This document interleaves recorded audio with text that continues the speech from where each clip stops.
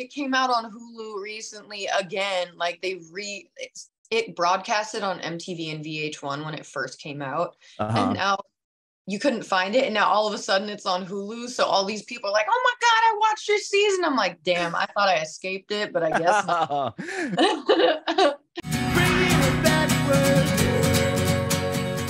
well, I appre- again, I appreciate you doing this. yeah, for sure. Um, I'm Adam, and this is about you and your journey in music. And uh, we'll talk about your new song as well. I was just listening to it. It's really cool. Oh, thank you so much. Yeah, I'm Yeah. I'm excited to release it finally. Yeah, I love the intro with like the the the computerized like response like uh, uh, on the telephone. For sure. I wanted to like make it really um kind of personal, like not like you're leaving a voicemail, but like I guess tie it into like the 1-800 concept of like using a phone. Yeah, yeah, yeah. I love it though. It's awesome. So, um, well, first off, where you're from San Francisco, is that I saw? Born and raised, baby, Bay Area. That's awesome. I lived up there for about five years. I did radio. I was on the radio for a Oh, long time before doing this. So, uh, yeah, like? I loved it. I loved it up there. I, I worked for Live 105, which I think is called like Dave FM, or I don't even know what it is Yeah. now. Yep, that radio station. Uh, yeah, so I don't know what they're doing over there anymore, but yeah, when I was there, it was called Live 105, and it was oh, that's was a lot of fun. Yeah. So, did you grow up in the city? Or were you actually born and raised in the city? Or are you on the uh, East Bay, South? Not the east bay but i kind of like moved around the like vicinity of the city i was like inner city south san francisco san bruno so kind of like all those areas um Okay. but i just say i'm from the actual city because trying to describe where south san francisco is to people who haven't been there is like impossible Oh yeah, for sure. Or, or a lot of people just be like Bay Area. I'm from the Bay Area, but yeah, Yeah. If you're in San Francisco, even South, like Daly City, or even that, I mean, that's San Francisco. i know it's the suburbs no if there really is a suburb. Fair enough. That's why I guess I'm like calling it the suburb to kind of create my own. yeah, because when you live in, like, I had friends that lived like in the avenues by the park, and I'm like, this mm-hmm. really still isn't the suburbs. This is like you're so close to the city, city. But my favorite part is when people are like, "Yeah, I'm from the Bay Area," and then I'm like, "Oh yeah, where?" And they they like name someplace past San Jose, and I'm like, mm, "No, mm. I mean, yeah, but like, no." like I'm from uh Victorville. You're like, what? Who the fuck is Victor? No. yeah, exactly. I'm from Fresno. Um, well, that's awesome. So you you were uh, born and raised there. What was it like growing up in the city? Did you go to middle school, elementary school, high school there, or were you more south in the suburbs at that point? No, so I kind of like um my upbringing was kind of like crazy. So I kind of like went all over the place when it came to school. I think I went to like five elementary schools, two high schools, two junior highs. Oh my gosh, that's a lot of moving around. It is, and it's all within like the same area. So really I just got a flavor for every school. Sure. Did, were, did you were you able to keep kind of the same friends since you're still close to everyone? I mean, if I had friends, I was kind of Oh. labeled, you know, I was like, I was like the weird kid. Like, I was like the kid that eats lunch alone, but like, you know, Oh wow, I'm, I'm shocked at that, especially since what you. I mean, yeah, I mean you've accomplished so much, and um, just yeah, and your personality is very bubbly. uh, If Thank you. yeah, I was shocked that that was uh, your your case. But um, well, growing up, do you come from a musical household, or uh, are you the only one that does music in your family? no, literally not a single person in my family does music. Like, I don't think any of my family members had a musical bone in their body. Um, so I guess you could call me the black sheep. Okay. well, how Um, did you get into music then? Oh God. It's such a wild story. I um so I'd been writing poetry all my life, like since I was a kid. It was like a way for me to get my feelings out. Um and I was seeing an Aus I was not seeing, I was dating an Australian. Um, we dated for almost two years, but we were doing long distance from the different countries. Mhm. So I ended up going to Australia for six months. And while I was there, he was a musician. So that was my first introduction to like proper music, like, oh, somebody who does music, like learning about it. Um, and we went out for karaoke one night. And I got, you know, a little bit subsy. and I ended up singing karaoke, which is something I would have never done. Mm-hmm. And the next day, it was kind of like, why aren't you singing? Blah, blah, blah. And I'm like, I don't know. That's like not my lane. Like, I'm really embarrassed about it. Like, that was the first time I actually had ever sang in front of anyone. Wow. Mm-hmm. I like, you know, my shower, but like, that's my own audience. That's not like singing for people. Right, um, right. So I ended up seeing his vocal coach, who he had worked with since he was a kid. And the first two sessions, I couldn't couldn't sing in front of her. I had like a full blown panic attack. Like I couldn't even do the vocal warm up. It was very embarrassing. Um, third session, she finally got me to sing, and I did like a Amy Winehouse. I think it was like Back to Black Mm-hmm. And I mm-hmm. was leaving the following week to go back to America. So I didn't get a lot of time with her. And she made me promise that I would just try it, just test it out. I was like, I don't, I can't even sing in front of you. Like, what makes you think that I'll be able to do that in front of anybody? Mm-hmm. So she gave me a list of vocal coaches in America. I called all of them. Nobody responded back to me except for one person and I ended up uh, doing a couple lessons with him. And it basically was the same exact situation. I was just so anxious. I couldn't do it. I broke down crying. Um, it's singing's just really, really, I guess, vulnerable for me from yeah. like my childhood. And um, did the lessons. And it just kind of like because it happened so fast, everything just like fell into place so rapidly. I can't even explain like how I got here and why I feel like it's a purpose, it's a calling. Because mm-hmm. it's just, it makes no sense. Like, well, it, I, sorry, go ahead. No, no, no, you're good. Go. No, I was just gonna say that it, um, your the voice is it's just such a vulnerable thing, like you said. I mean, you could get on a guitar and suck and you're who cares like people just pick it up and just you know slam yeah. on it for a minute or any other instrument really it's not because it's your own voice i mean it's something you can really change right so if somebody's like oh you're awful then it's like yeah. ouch like that's not something for i can sure. it's not as easy to work on that as it would be to oh yeah i suck at guitar well let me play for six months and see where i'm at yeah i had i i had slash have a lot of like trauma attached to singing and music. So oh, I right? for me, when I would sing and when I, that they kind of like cracked open that part of me, it caused me to like feel things that I hadn't uh, faced yet.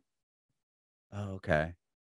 So when yeah. you were growing up, like you, yeah, you, I don't, I don't know if you want to get into it, but like, no, yeah. no, I don't care. I'm an open oh, book. We are. Okay. Um, yeah, no. So in my household, my mom was like very, very strict, very, very religious.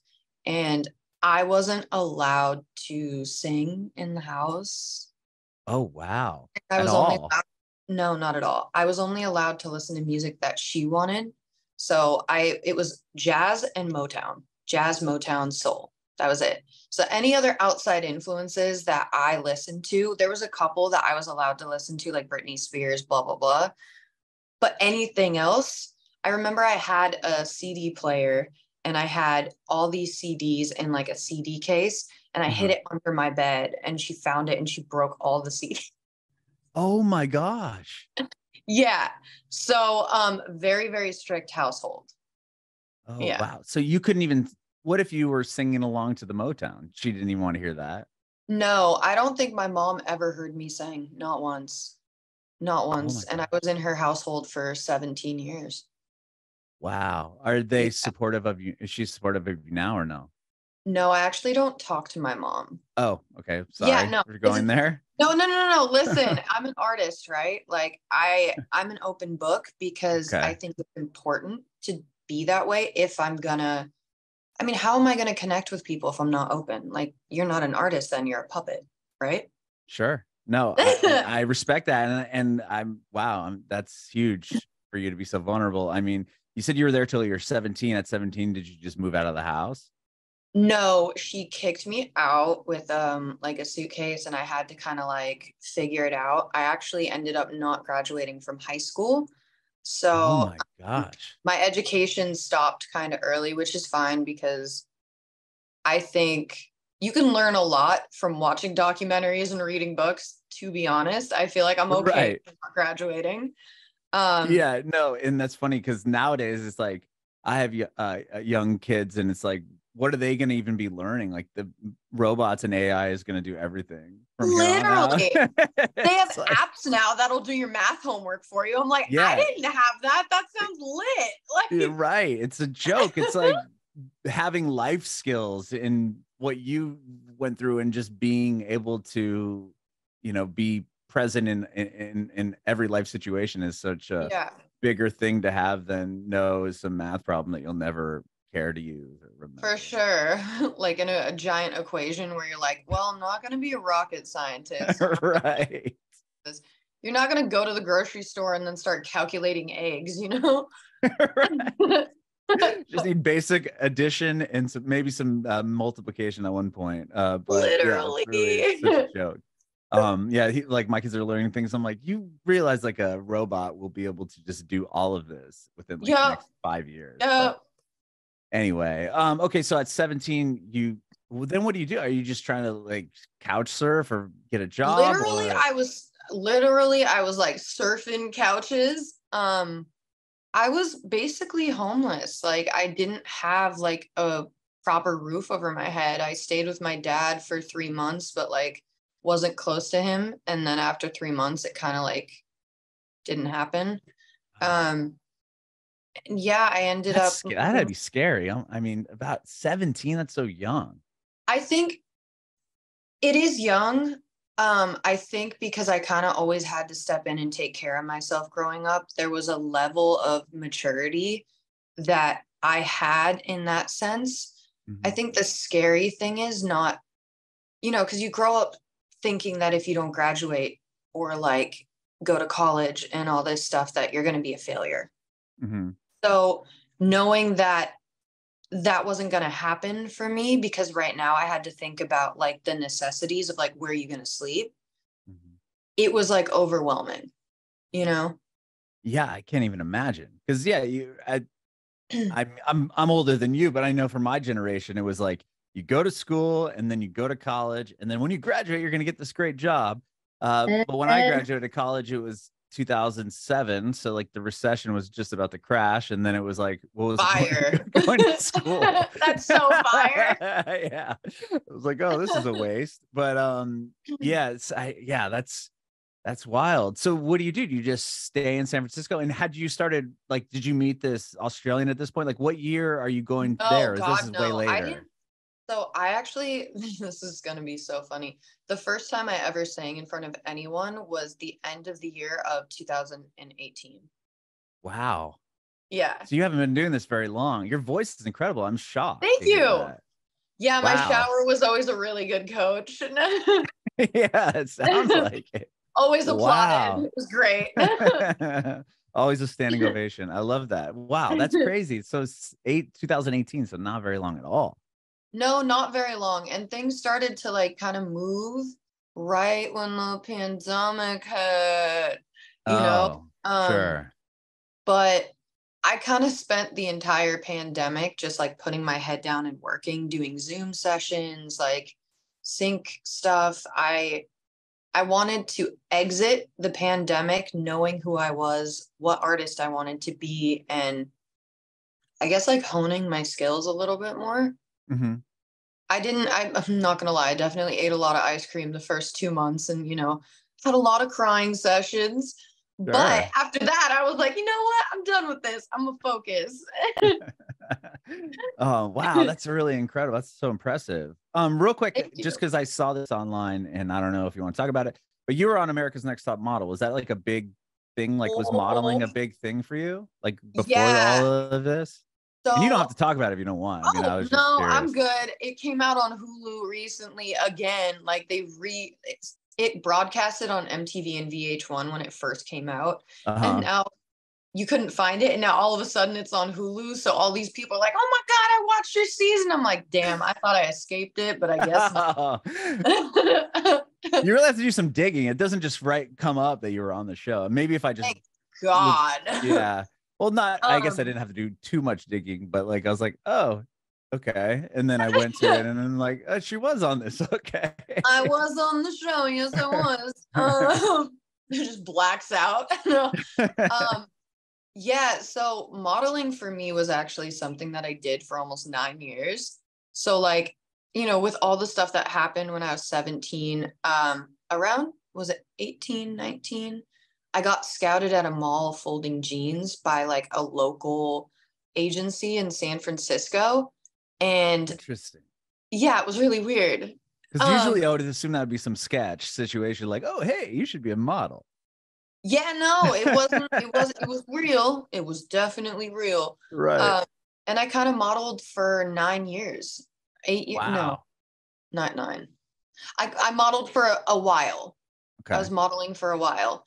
And then I was actually about to quit modeling. I was like, you know what? Maybe I'll like go to school or do something with my life. I was having an existential crisis Uh-huh. um, because of my height. Nobody would sign me to like a bigger agency. I moved to LA and it was like, God, the things that I've been told get a nose job, wax your eyebrows, straighten your hair, your hair's too curly, you're too short. One agency told me to get leg extension surgery, and I actually almost considered it. And then what now the looking back- that? looking back, I'm like, yo, I would have looked like a fucking grasshopper, bro. That's such a. I've never even heard of that. I need to like look up some Google images of that later. But what? What do they do? Just like Google images, but yeah, no. what do they just shave your? I mean, just saw your shave off it? Yeah, they shave like, your legs. No. just stick some. What? The fuck? Yeah it's wild um and so i was about to quit and then i got a dm one day from somebody who was like hey blah blah blah i'm a casting agent from you know vh1 you should try out for this thing and i thought it was a joke i was Uh-huh. like ain't no way this real this person has like a hundred followers like good luck bye um, and they kept messaging me. And so finally, I was like, okay, let me, um, let me just see what's going on. Turns out it was real. um, and they kind of expedited me through the whole audition process. And we filmed for two months. So I was there filming for two whole months. And I Oh, got wow. in fourth place. Yeah, I saw that. Congratulations. That's awesome. Thank you. Yeah. wow, it's funny that you said you got a DM and that person like had no followers or anything. I I forgot who I inter- I've I've interviewed a lot of people that have been on like American Idol or uh The Voice or whatever, and they had a similar situation where it was like the person didn't even have like a profile picture. It was like some No, like bro. sketchy looking account, and it was I'm like, like, what scam is this? yeah, like I'm a producer for the show, and it's like, are you like? I, yeah, right. And that they were and they got through you know, similar to what you said where it was like they went right to kind of the judges thing but That's it's just wild. it's so wild to think like yeah maybe it's because they wouldn't want to put that on the profile because people would just be hounding them I, but i don't know it seems a little weird That or they don't want that. They it might be like a side gig and they don't want it attached to like their actual name. ah that's a good point You know, like Billy Bob, who lives in Tennessee and has a family. That he's like, I don't want people to know that I'm actually a casting director for American Idol. right right right okay that well that, that could be definitely okay well wow so i would imagine getting the modeling gig or you said you're folding jeans in the mall and then you get signed to this agency did that change i mean financially for you were you able to then be like okay i'm just going to do this i didn't need to go to college and you know all this other stuff but like were you able to i mean going from 17 and trying to figure out where you're going to live to having this kind of moment happen for you was that that must have been exciting in a sense that maybe you didn't have to do the mall job or For sure. I still the thing with modeling is that um it's really good money when it's good money, but mm. it's like so fluctuating that you still need to have some form of a cushion, you uh-huh. know, and unless you have like parents that financially fully support you. Um, so I had a job on top of doing that. And then when I got to LA and things kind of started like moving a little bit more because there's more down here, mm-hmm. I was doing like makeup campaigns where like, yeah, I would I would be decently okay. That's good though. I mean, that just even having the that kind of extra, you know, boost of income or whatever, just because of the situation you were kind of thrown into, yeah. right? Yeah. I mean, you have no one to really lean on and it's like yeah go figure it out you're 17 it's like uh yeah what no blood related family to lean on that's for sure but like you know you always have like your chosen family sure sure so years later i mean were you doing after america's top model were you still pursuing modeling or at what point do you like kind of stop or maybe you're even still doing i don't know I was trying. I was trying to still pursue it. Um, when I actually went to Australia for those six months, I was signed to an agency out there, but I couldn't get a visa. It was oh. becoming an issue. So it I was like being paid under the table, which they were scared because that's kind of illegal. Um, oops. But that's when like the whole like karaoke thing happened. Okay. So it's like I feel like I've lived like 20 lives in one, honestly, because it's like, you know, I, it doesn't make any sense. I don't understand. I'm like, who's writing my story? Because this shit's wild. What kind of Hollywood script is this? Right. Because you go there and then that's when the karaoke thing happens and you get back to the States and it's like, I should do this music thing. Yeah. And what's really crazy is that um, how it started moving more is I got a again a random DM from someone um who was like, "Hey, have you ever like performed before?" And I was like, "I'm gonna be honest, uh, no."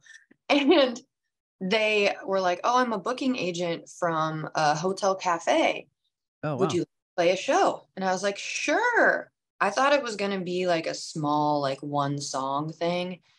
They booked me for a 45 minute set headline oh, wow. with zero music. I had zero music. So it was all covers. But I ended up, you know, walking away with like 300 bucks that night, which is unheard of, especially for your first show. Yeah. So they kept asking me to come back. Wow. So how so, did you, you didn't have any music out or you had music out and that's why the person I reached had, out to you? I had no music out. None. How did they know you were a singer? Like cover um, videos or something you had out?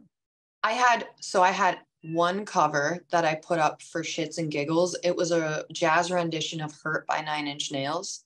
Oh, cool! But like I'm, I had nothing. Like there was no videos of me singing. It just it doesn't make sense, bro. I'm telling you, I don't understand. So the, this you had one video up, and the person DM'd you and says, "Hey, I booked for the hotel cafe. You want to play a show?" Yup, yep. So I've held like a a nice relationship with them. Um, I think I yeah, they're a solid venue. I mean, a lot of people are there. Yeah, they are. Um, and as I got further into music, I learned that. And I was like, damn, this is like kind of iconic. no, it really is. That's amazing. so that was your first show ever was playing there. And it was all you just did all covers? Yep, all covers. I was like, I, I remember I was so nervous and shaky on stage. And I was like, yeah, guys, like I don't actually have any original music. So you're gonna just get a bunch of like jazz covers. how did you do it? Were you was it just you with the backing tracks or did you hire a band? No, like how, no. how did you perform? So that vocal coach that I got hooked up with um back in LA, he helped me find a guitarist. Okay. So it, it was like a whole process of me learning like, oh, this is what you need to do to like have a show. Got it. Okay. So you ended up having then live musicians with you, or at least a guitarist. Okay. Yeah, it was Hotel Cafe, so it was stripped back. It was like a keyboardist and a guitarist. But still, that's cool. That must have been cool to play with other people, maybe for the first time. Mm-hmm. Were you nervous about singing in front of them, or were you kind of at that point through the the No, no, I, I had full blown panic attack, which you couldn't see. I hide it really well when I'm on stage, but because there is like trauma attached to like my voice for me, Mhm. I internally freak out, but you'll never know unless I say something or you see my hand and it's like la la la, la you know. okay. Yeah. Wow. Well, after that performance, when do you start writing your own songs? You said you did po- or wrote poetry for a really long time, but yeah. when so, does it become a, a s- your first song or so I actually did not know this is so dumb, but I guess like when you don't work in music, you don't know that poetry is basically song lyrics. Um right? I mean, yeah, you wouldn't know that, right? Yeah. So, how I started writing my own music was shortly after um, coming back and like kind of having movement with like a show and everything in uh, LA. Um, my ex, my Australian ex, he came down for three months and he broke up with me a week before he left. And it kind of triggered me and spiraled me um just the way that everything happened. He like broke up with me and left the house and i all the stuff that i hadn't dealt with as a kid i think just came up because it was like so abrupt and it really hit me because he had been at my house for three months and you know i flew him down there and found out that he had been seeing someone for a couple months um Wow. back in Australia and I ended up kind of having a suicide attempt Oh my gosh.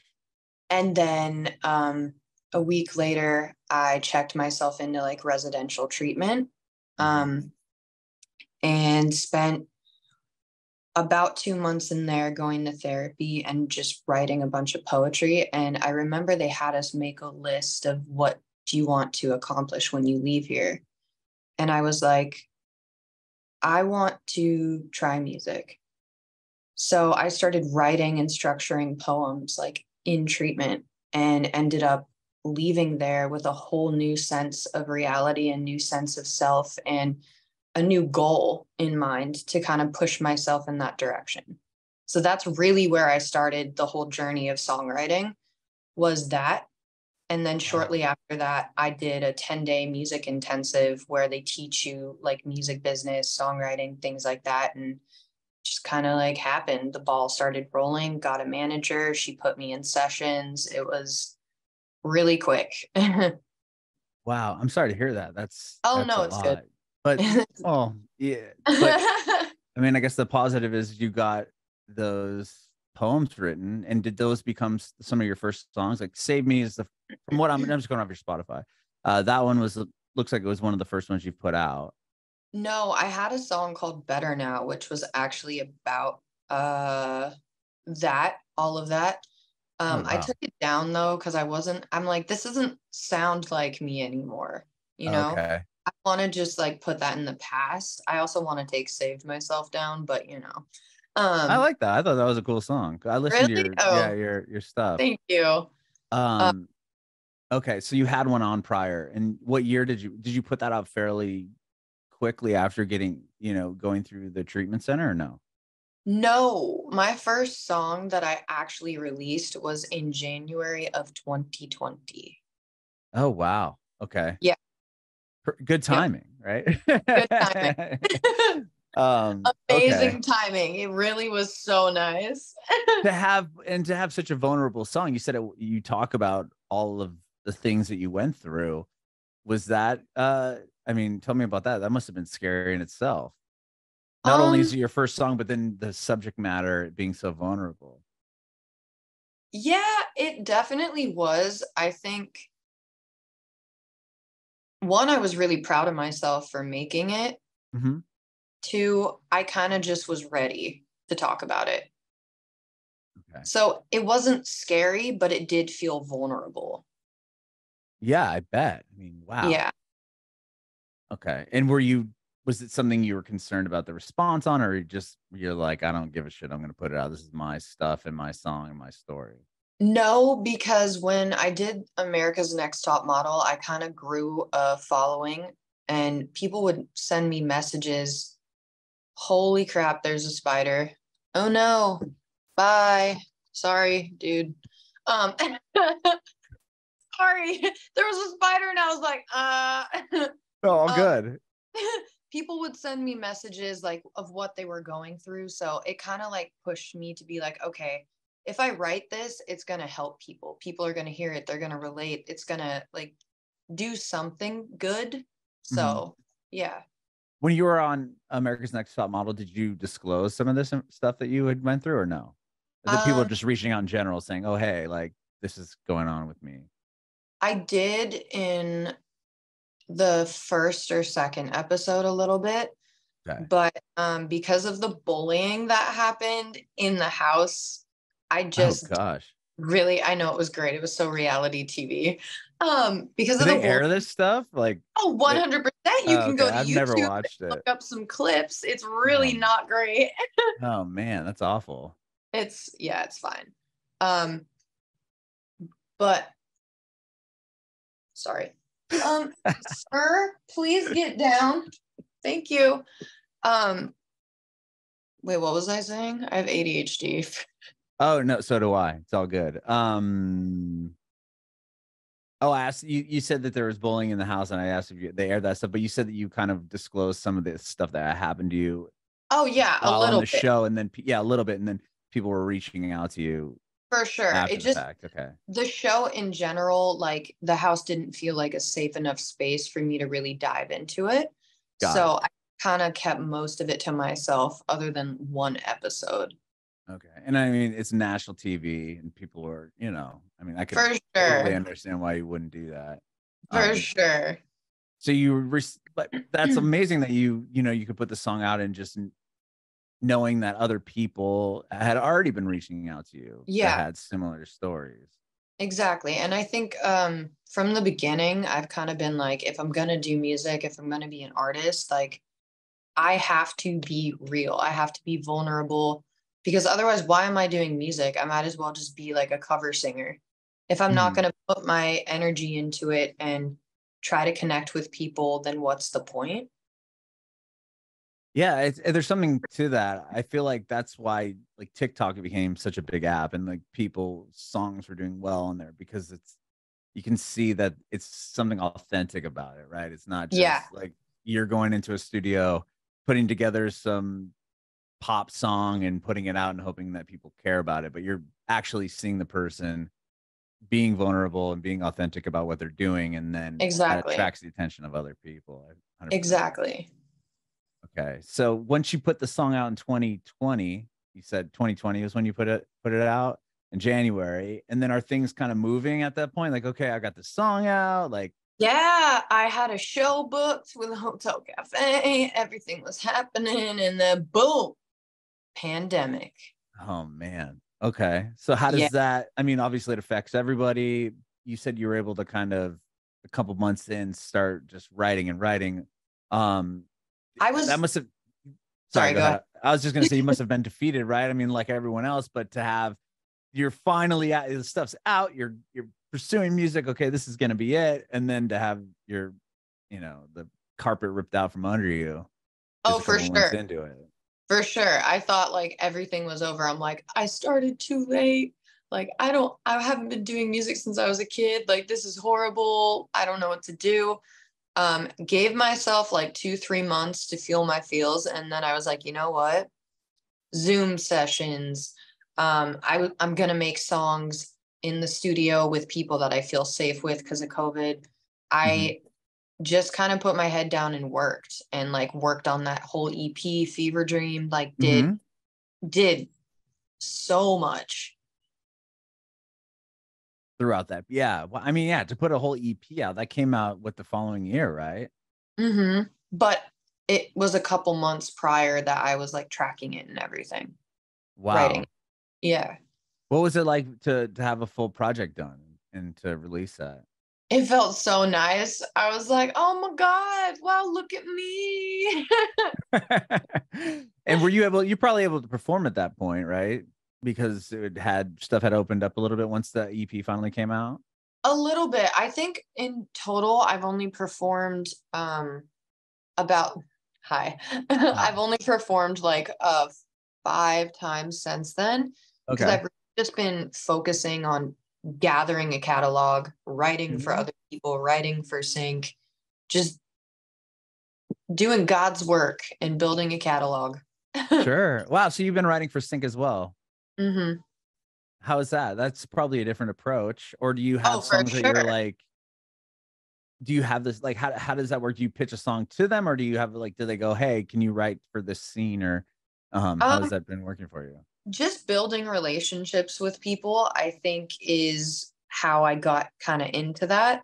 Mm-hmm. Having a good session for yourself, and then the person's like, oh, we should do a sync session. And then you just kind of like build your little network. sun is in my eyes. There we go. um, oh, we're good. All right, go on. Um, but yeah, just getting pulled in and like you know cheesy cat commercial jingles they they're great. That's awesome. Um so well tell me about this new one. So you have this new song it's not out yet but i've heard it. It's really really good. We were talking a little bit about it earlier. 1-800 broke my heart. Yeah talk to me about this song a little bit. Well so 1-800 broke my heart. Um i was dating a guy last year and he ended up cheating on me with his coworker, um, dating her for a couple months behind my back.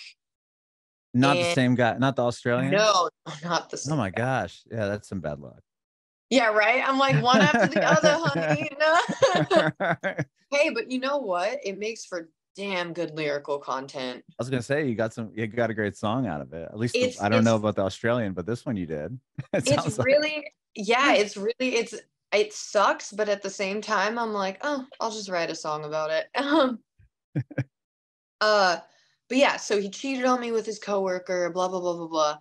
Gave me no closure, none at all. They started dating two days after he broke up with me, like full on, and I had no closure, like no communication, no nothing.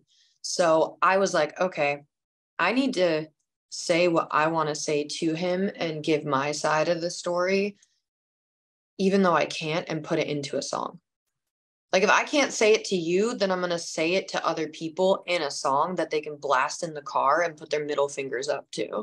I love that. so I named the song 1 800 Broke My Heart and that's actually a play on words because he was a producer. It's a play on words to his producer name, which I will not fully give out, but I will say that the first one, two, 1 800, blah, blah, blah, blah, blah, is his producer tag. So it kind of like worked out. so if you want to do some deep dive research, you could probably figure it out. probably. Shit. Oh, that's funny. Okay. Well, uh, yeah, the, I love the song. I think it's awesome. And is Thank it going to be, yeah, so it's coming out. It will probably be out by the time we release this. And is there like going to be a, a video for it? And also, is it going to be a part of a bigger project? Yeah, I have a whole plan. Um, I'm going to shoot a video for it probably end of February. And then it's, I've been stacking music. So I'm going to release another EP like further into the year and just like roll out some singles and then boom, big old project. Not an album. I'm not ready to do that yet, but an EP. That's exciting. Yeah, I'm I'm super excited because it's it's a new body of work that feels like sonically more me. Mm-hmm. I, I've like fully found my sound now and I don't I have no question about it. That's huge. That's yeah. huge. yeah, I know it takes a, a while. Well, if you listen to any artist from their first album to whatever they're doing now, it's like it's, they evolve or they don't stick around, I guess. We're like basically Pokemon. yeah, sure. uh, well, I, again, I love what you're doing. I appreciate you taking time to, to chat with me today. Thank you so much for doing this. And thank Thanks you for being for, so vulnerable like that. Sure. Wow. It means a lot. Thank um, you for you know, listening to my story and uh, allowing me to be vulnerable and be like my quirky self. So, well, I think you're great. And uh, again, I appreciate your time. I have one more quick question. I want to know if you have any advice for aspiring artists. 100%. This is advice that somebody gave me, and it sat in my brain ever since. Closed mouths don't get fed if you don't put yourself out there, if you don't say what you truly want to say, if you don't approach that person at the event, if you don't, you know, push down your shyness to walk up to somebody that could change your life, you you're not it's just not going to happen. You have to put yourself out there because closed mouths don't get fed. world.